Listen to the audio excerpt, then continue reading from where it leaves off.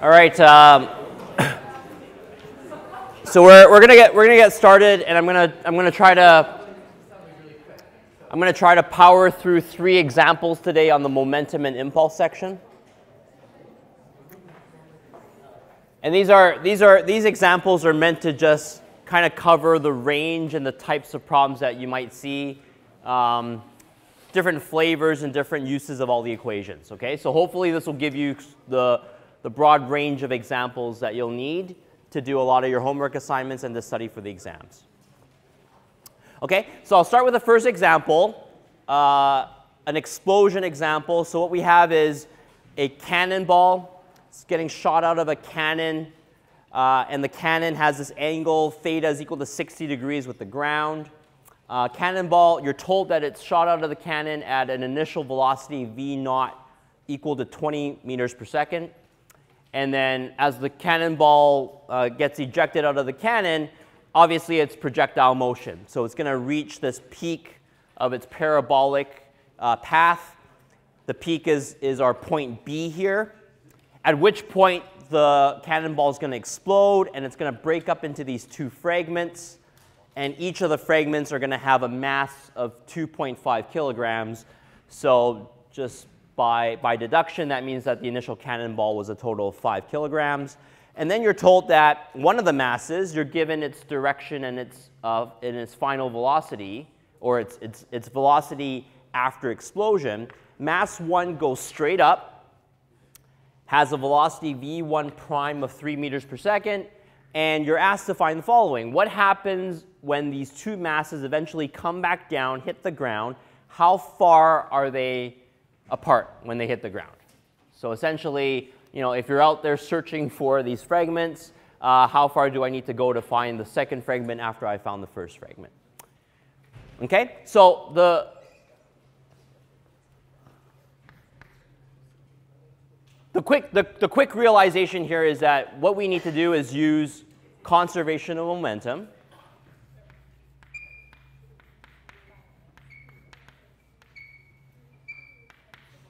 Okay?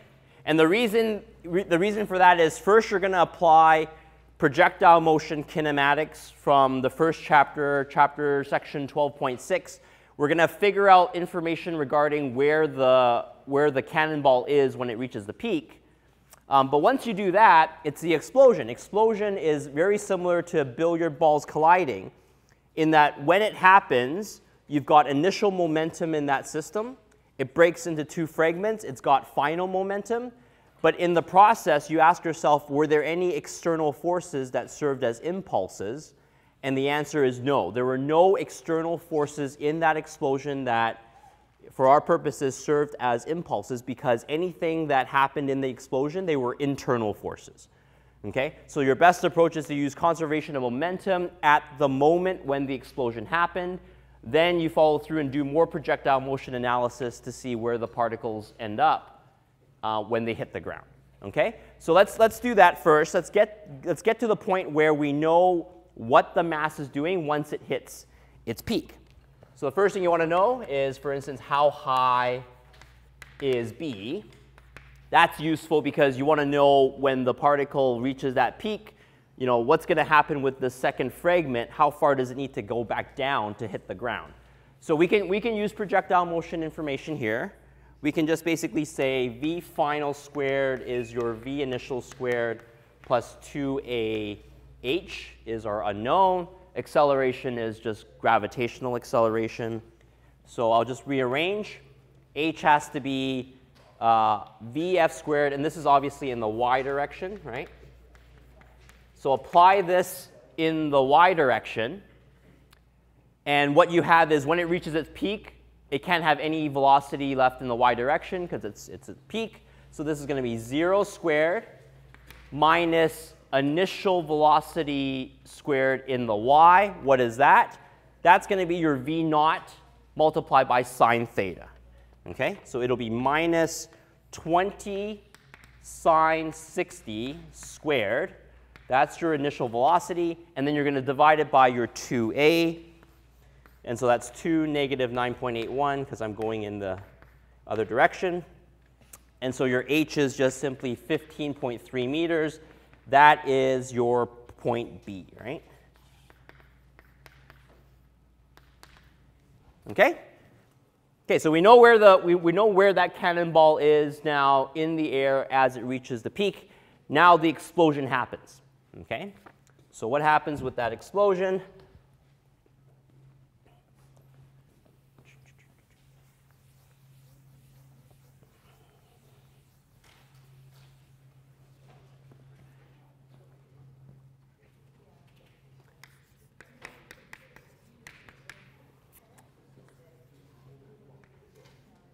Okay, so for the, the diagram that I'm going to draw for the explosion is, is basically going to be a before and after picture. Think about it. Momentum is all about forces, velocities, and time, not like energy, which is about displacements. So when we're talking about conservation of momentum, it's usually a before and an after picture. So in the before picture, before the explosion, right, you've basically got the mass, the full cannonball. And so we have to remember that this was m1 plus m2, the full cannonball.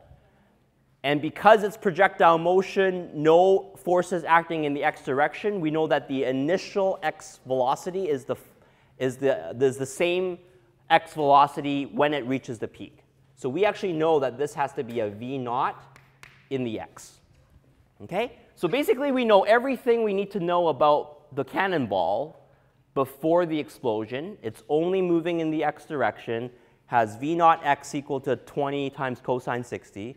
And then we know that the mass starts at m1 plus m2. So here's the after explosion picture. So the after explosion picture is you've got a mass that's now just the m1, and you're told in the problem that it goes straight up and has a v1 prime equal to 3 meters per second. Okay? And then you have a second mass, your M2, and we have no information about M2. So chances are it's going to be moving off in sort of in this direction. It'll have an V2 prime, which is currently unknown. And this V2 prime is a vector, and we don't know direction or magnitude. Okay? Everyone with me so far? Okay, so here's where you would use your conservation of momentum. From before to after, the momentums have to be the same because, like I said, no external impulses are being applied. So what you do is you take, you take your conservation of momentum,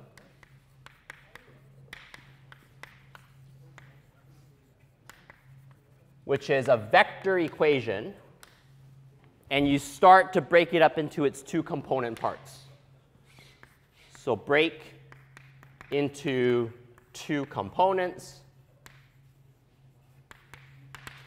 Okay, so I'm going to do my x and I'm going to do my y. So here's my x direction. If momentum is conserved in the x direction, here's what you would see. You would have an m1 plus m2 and it would be all of the velocity not in the x, like so. And this, therefore, must be equal to all the momentum in mass 1 and all the momentum in mass 2. So you would have m1 v1, oops, v1 prime in the x plus m2 v2 prime in the x. Okay? And what we already know is that v1 only has a y component. So this is 0. Okay, so let's see if we can even solve this. And the answer is yes. If I rearrange, I can find v2 prime in the x direction. I just have to do an m1 plus m2 v naught x. And I'm going to sub in my v naught x here. This is going to be 20 meter per second. And in the x direction is cosine 60 and I'm going to take that and divide it by my m2, like so. And what you get is 20 meters per second. So v2 prime in the x happens to be, That's 5 divided by 2.5 is actually 2. 2 times cosine 60, that's a half, it's actually is equal to 20 meters per second. Exactly. Okay, any, any questions so far on x component conservation momentum? All good? Okay, so if you have that, then what can we do? We can actually do the y direction as well. So we've got one component of this velocity. Now I'm going to do y. So for y, is there any y momentum before explosion? No, none of the velocity is in the y direction. So it's 0 to start. And then the final y momentum would be m1 v1 prime y plus m1, oops, m2 v2 prime y sub y. So components of each of the masses, and in this particular case, both of them have y direction. One of them is up and the other is down. So it's going to be m1, 2.5 kilograms, v1 prime y is my positive 3 meter per second plus 2.5 kilogram v2 prime y, which is my unknown.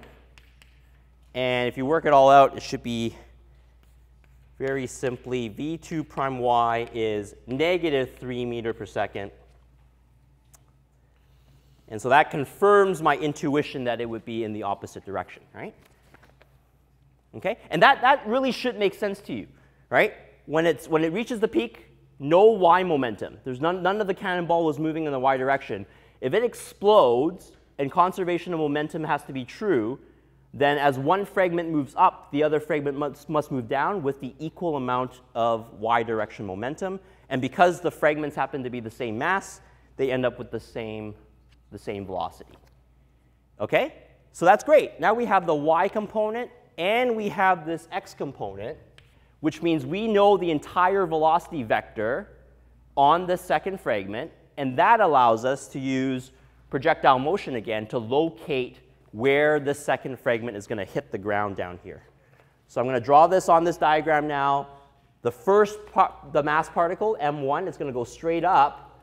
So when it comes back down, it's going to be right here. This is where my mass 1 is going to end up. The second mass m2 is going to have this velocity vector right there initially. Here's my v2 prime. And then it's going to basically be a projectile, and it's going to land somewhere here, m2. And that distance is what we're looking for.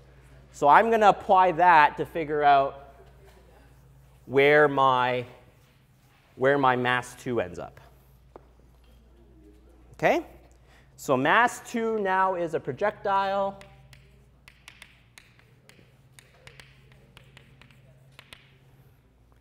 And we can say the following, y is equal to a y naught v naught p plus 1 half a c t squared.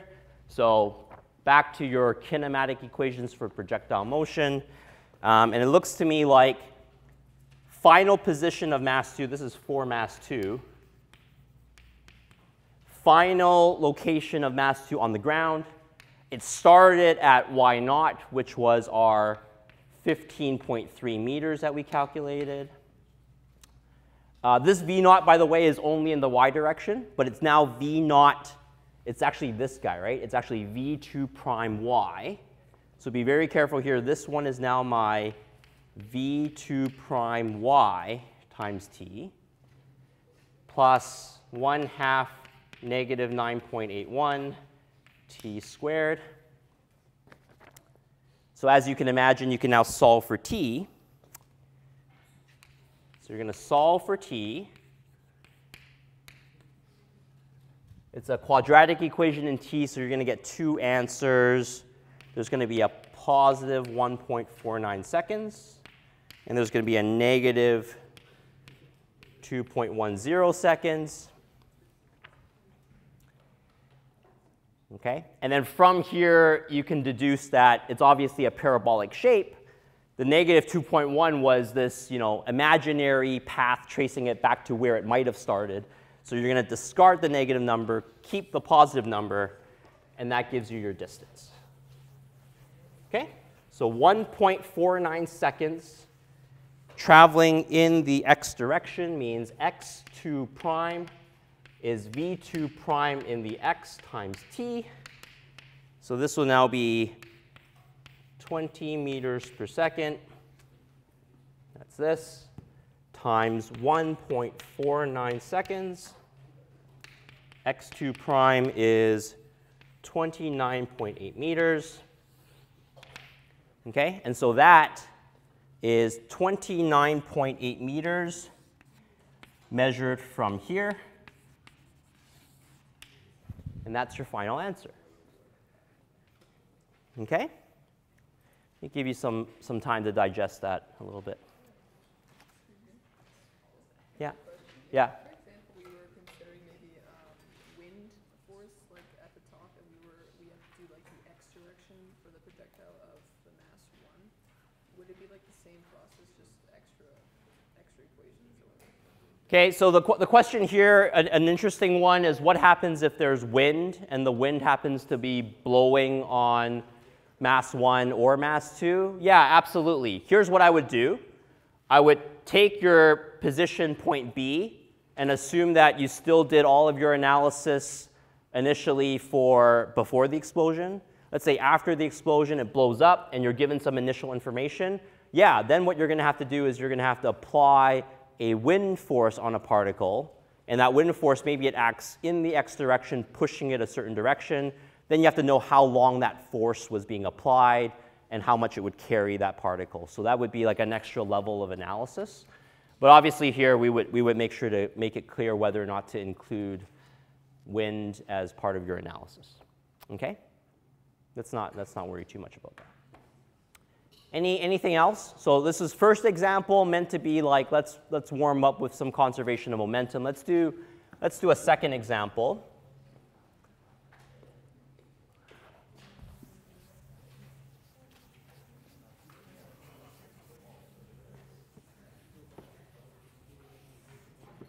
Okay, so here's my example number two.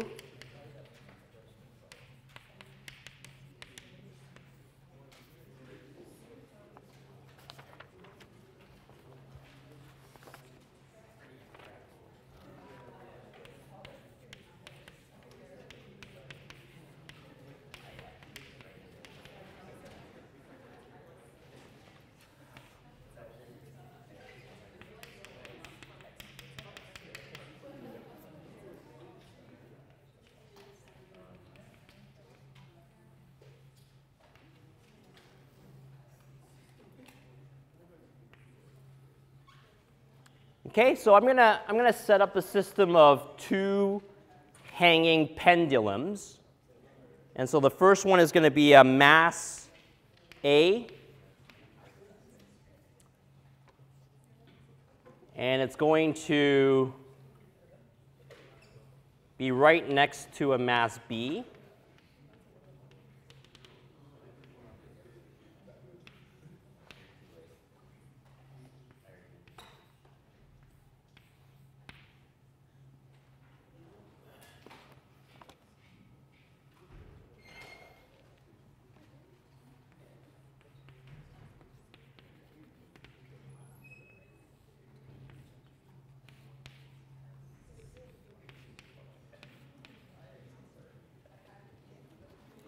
Okay. So, so here's, my, here's my problem. Two hanging pendulums. They're right beside each other, and if they were sitting still, uh, A and B would be just making contact at one of their surfaces, right?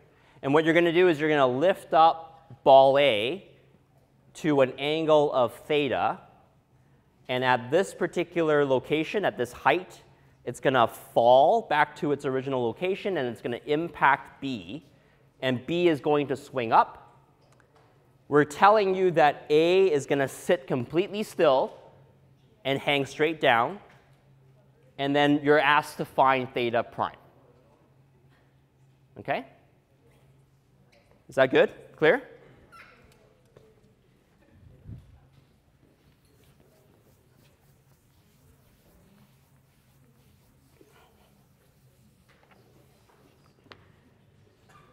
Okay, so I'll write down the, the details of the problem. Find theta prime. You have a question here, or are we good? Okay. Find theta prime for B.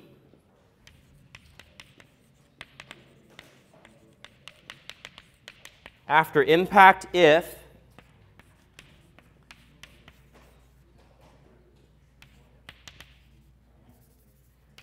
A stops immediately after impact.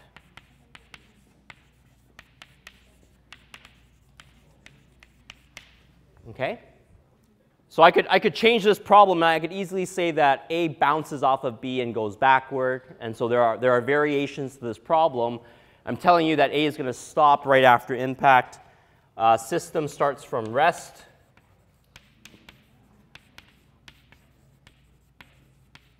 With, with A lifted up to that angle theta.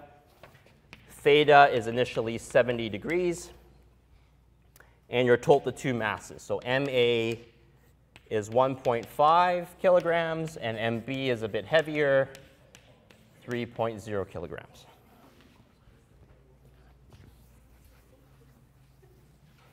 Okay.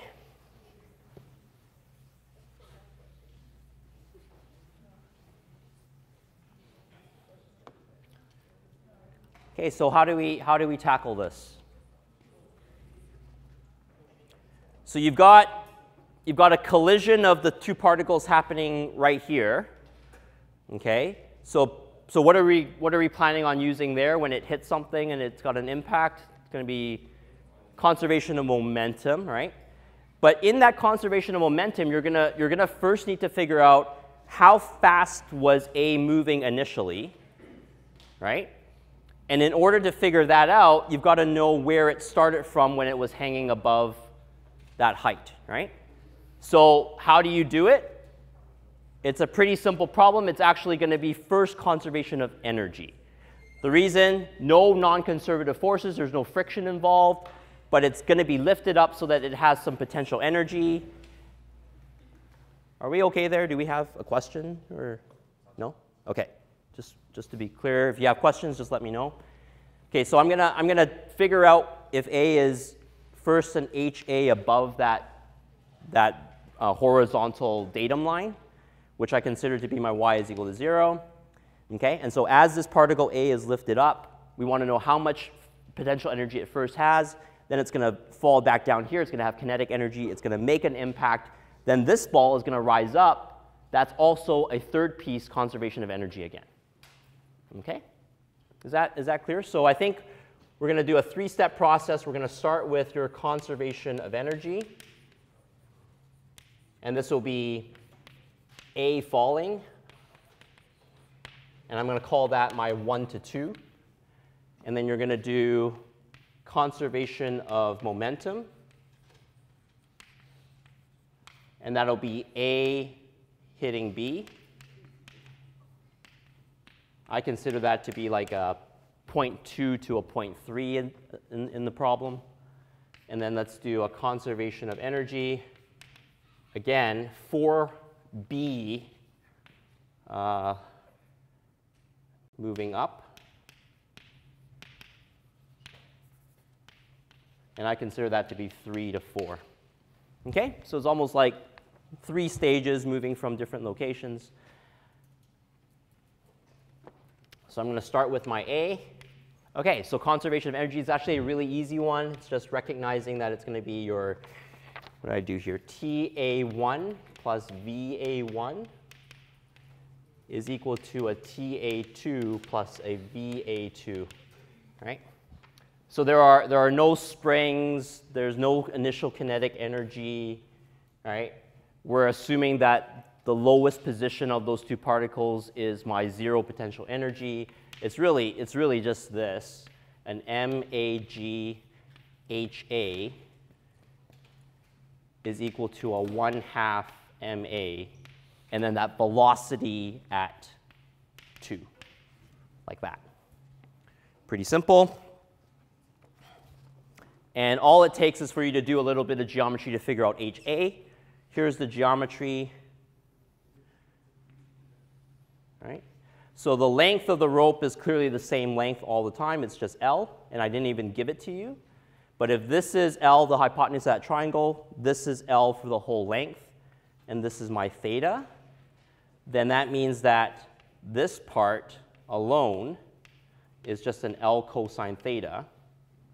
And so if this whole length of the rope is L, then this part here is HA equal to L minus L cosine theta.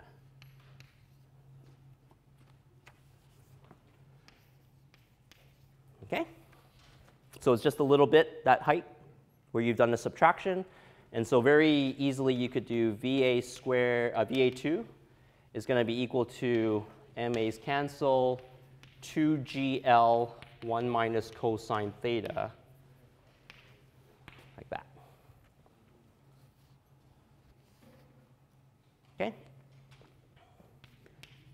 And I'll even do a, I'll even do a half step here to give you some numbers to work with. So this is just 1.147 square root of GL.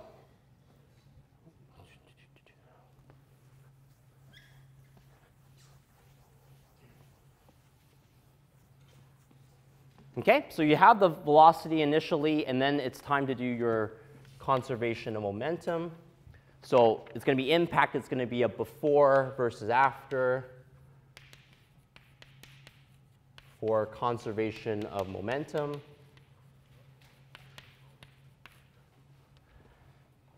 And so we have MA and then your VA2. Everything is happening in the x direction. And you can even say, just to be clear, there's an MBVB2. But clearly the mass B was just hanging straight down, so that's 0. And then you're told to find MAVA, and I'm going to use my, I'm going to use the number 3 just to, you know, indicate here that it's from point 0.2 to point 0.3. So MAVA3 plus MBVB3, like that. And because I told you also that VA is hanging straight down immediately after impact, it also has zero velocity. So you're left with just MAVA2, MBVB3. And so VB3 is just MAVA2 over MB. So 1.5 kilograms over 3.0 times 1.147 GL.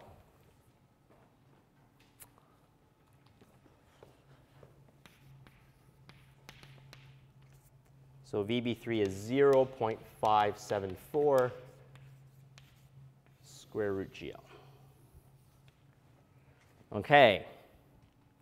So finally, third step, now that you have velocity of the, of, of the particle B right before, right after it's been hit, now you can use conservation of energy again, which will look very much like this.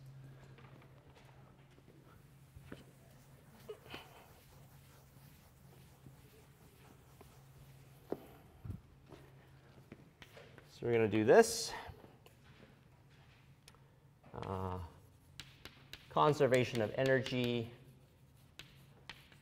for B after impact. So I'm going to now do a TB3 plus VB3, TB4 plus VB4. And starts from the bottom, so there's no potential, gravitational potential energy, reaches its highest point, and therefore doesn't have any final kinetic energy. And so we're left with 1 half mb vb3 squared mbg h b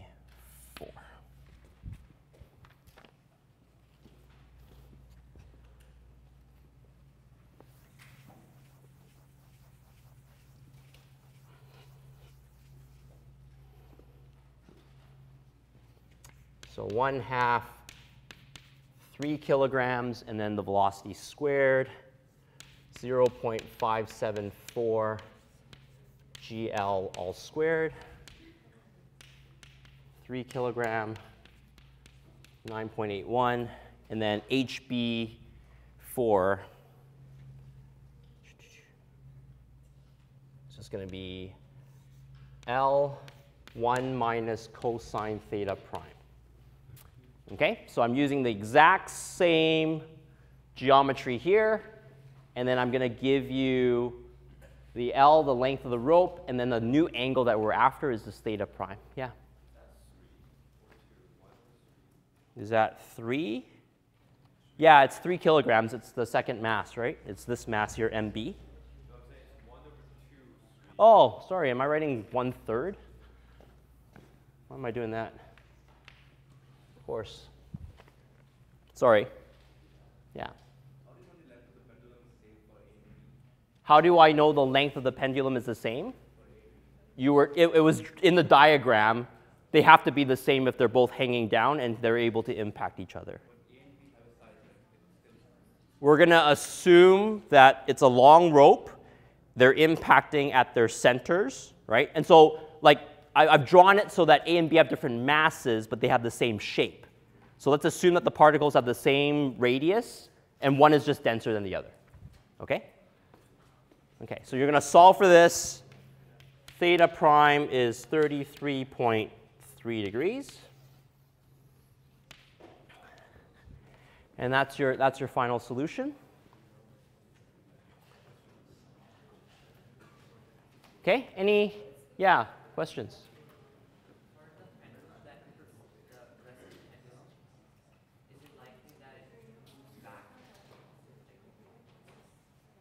Yeah, okay, so listen, lots, lots to talk about for this problem, right? So is everyone, is everyone good with the math at least?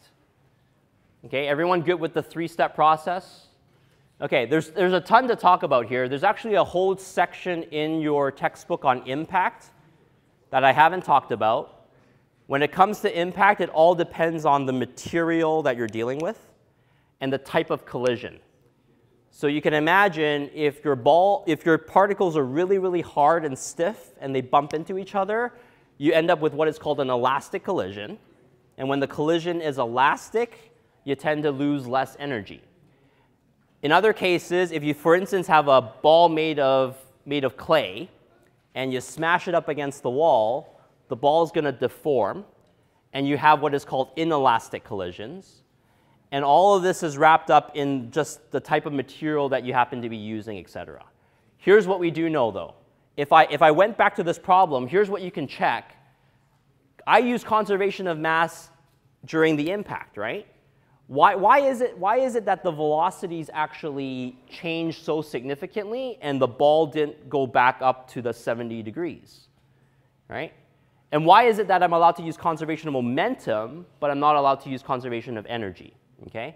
So the reason is the following. If you did kinetic energy of particle A right before it hit, and then kinetic energy of particle B right after it was hit, you actually notice that if you take those velocities and you calculate it out, you lost a bunch of energy. The energy was just gone. That energy is energy lost due to friction and due to sound and everything else. Okay? So conservation of energy is not guaranteed during an impact. Conservation of momentum is guaranteed because, again, there were no external impulse forces. Okay? So that, that, that's just very clear. And by the way, there is like one perfect scenario where you will have an elastic collision and the ball B rises back up to 70 degrees and it goes back and forth. So theoretically, that would happen if the following were true. Mass A and mass B happen to be exactly the same mass. So you have 1.5 kilograms in mass A, 1.5 kilograms in mass B, and you restrict it so that mass A comes down and stops immediately and doesn't bounce back, then all of that energy gets transferred to mass B, and then you have no loss in energy, theoretically, right? Theoretically. Okay, so lots, lots to talk about here, but I'm going to stop there. And I'm going to see if I can squeeze in the start of another problem here.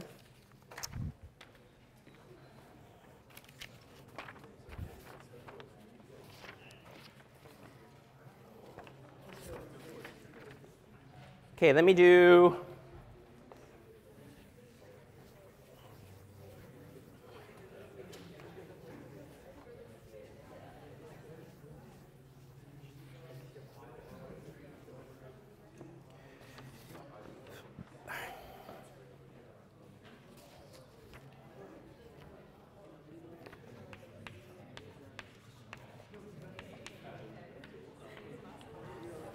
Okay, so I'll give you a, I'll give you just a very a very basic question. You're all you're all familiar with, you know, hitting a home run in baseball, um, and so I'm going to ask a very simple question.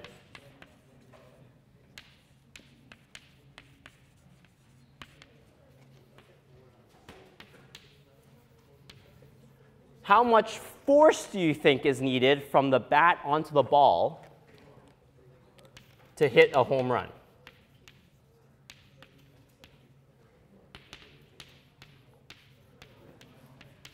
Okay? So I, you, I can almost give you this question with absolutely no information except for this.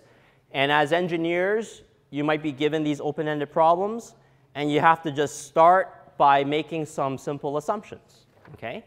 So if I gave you this question, where do you think you might want to start? I think obviously we're, we're, looking, we're looking at what it means to even hit a home run in baseball. How far does it have to travel? What does the path of the baseball look like? Here's where I would start. Clearly projectile motion, right? So I'm going to say the following. Let's say you've got the baseball player right here. Here's the baseball bat. Here's the ball coming at him. And the baseball is going to travel. There's going to be lots of wind resistance in this problem, right? But let's ignore the wind resistance. And I need the baseball to clear the fence. And I'm going to assume the fence is roughly three meters high. And usually the fence is, depending on where you are in the baseball park, usually it's about 400 feet away from where the batter is. Okay? And so I'm going to give you lots of information. You can look this all up. Mass of a baseball is of roughly 150 grams. Uh, let's say that the baseball is being pitched by the pitcher. It's being thrown in this particular direction. And it's a fastball, so we're going to assume that initial velocity is 90 miles per hour right? And it's going to be in the negative x direction. Okay, and usually after the ball is hit, in order for this to clear the fence, I would say the best angle that you're going to be aiming for of the ball's trajectory, I'm going to make this 40 degrees. Okay, so 40 degrees is a nice, nice even number. If it's too shallow, ball will never clear the fence, right? It's going to be in the infield or it's going to be a grounder. If it's too high, it'll be just a pop fly.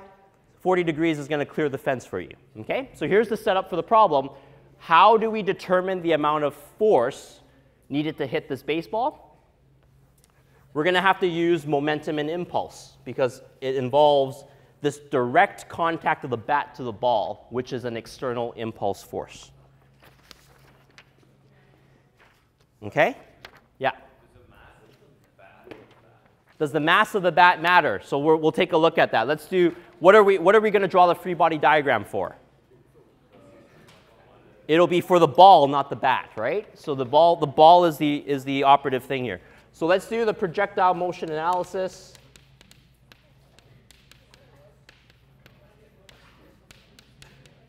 Okay, so I'm gonna, I'm gonna, I'm gonna quickly speed through this. Projectile motion analysis will give you this initial velocity that I actually left unknown initially. So this is my V, uh, let me do this, V2. The idea is baseball is hit by the bat, gets a new velocity after impact. I'm going to call that V2. And projectile analysis says that V2 must be a certain value for the ball to clear the fence. So I'm going to give you this V2. V2 must be 34.9 meters per second, given all of my projectile parameters right there. Here's where the moment, momentum and impulse section applies. So you've got the bat surface.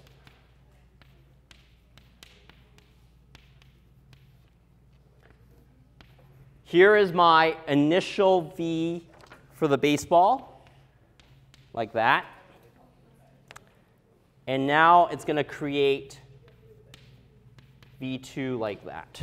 Let's do V1.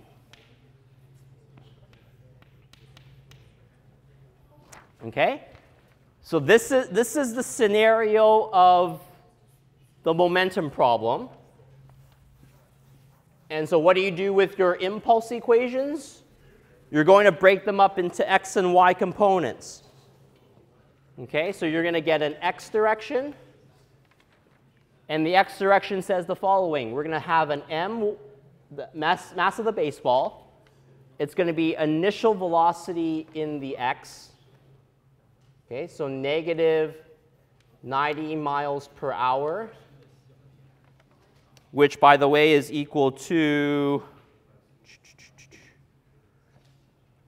40 meters per second.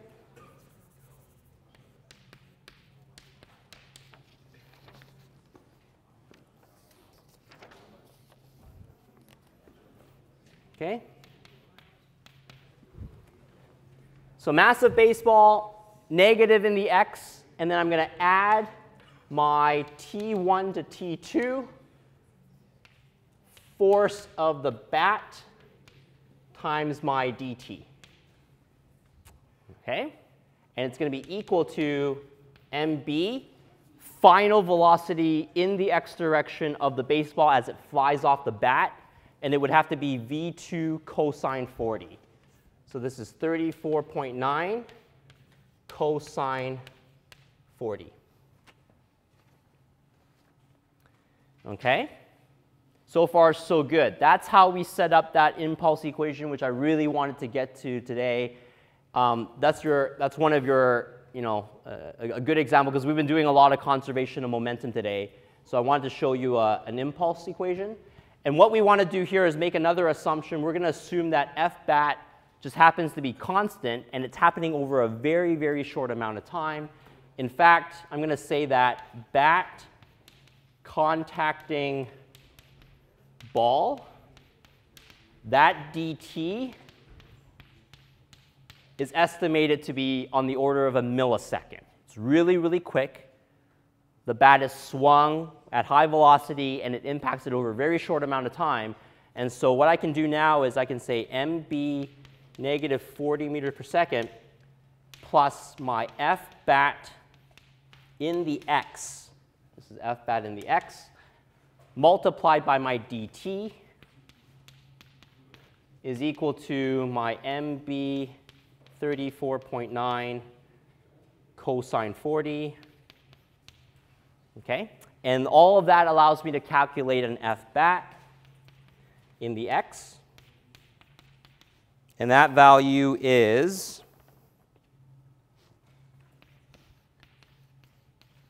ten thousand newtons. Okay?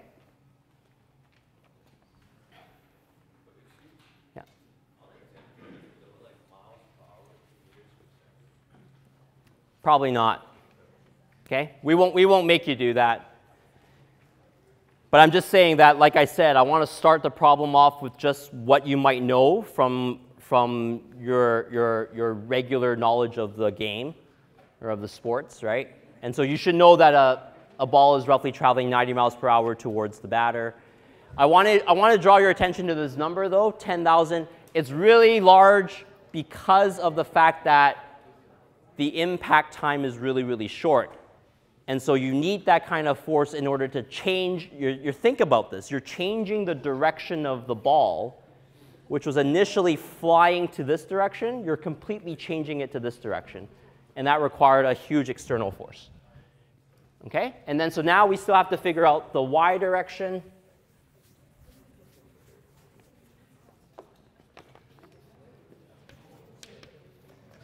Okay? So y direction, we're going to say 0 initial momentum in the y plus f bat y times dt. And this will now equal to mass of the baseball times the V2 sine of 40 degrees. So therefore, F bat y is 3,366 newtons, and therefore the force is actually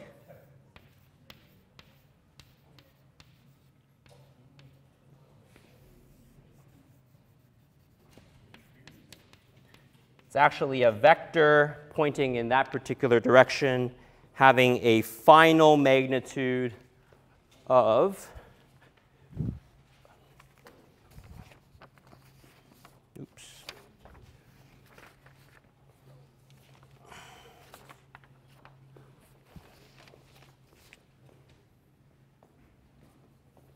Let's call that alpha.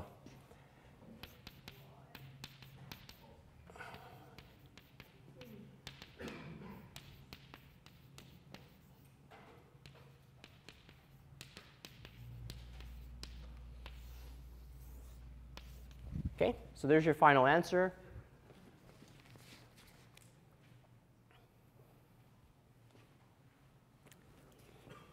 And here's, here's the thing, again, you're gonna, you're gonna realize this very quickly. In these impulse forces, I mentioned this, right? I mentioned the fact that some people will wanna draw this free body diagram, right?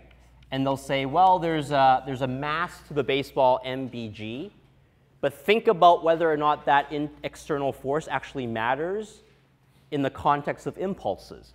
This MBG is so small when you multiply it by this dt, which is one millisecond.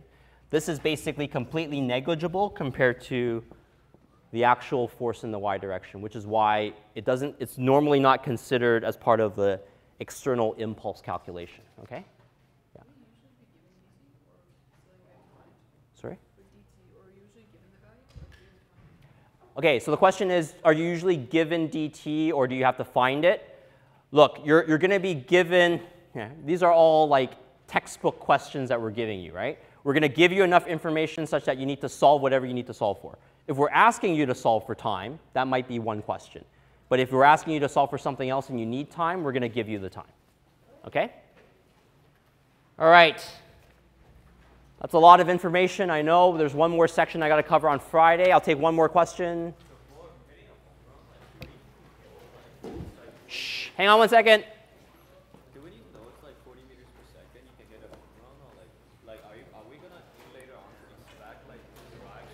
No, okay, so the question is, in this problem, you gave a lot of assumptions. Are you expecting me to know all these assumptions? The answer is no. I'm giving you a real life example where someone asks you a question. You have to kind of come up with some estimations to give a reasonable answer. We're not going to do that on an exam, all right? All right, see you guys on Friday.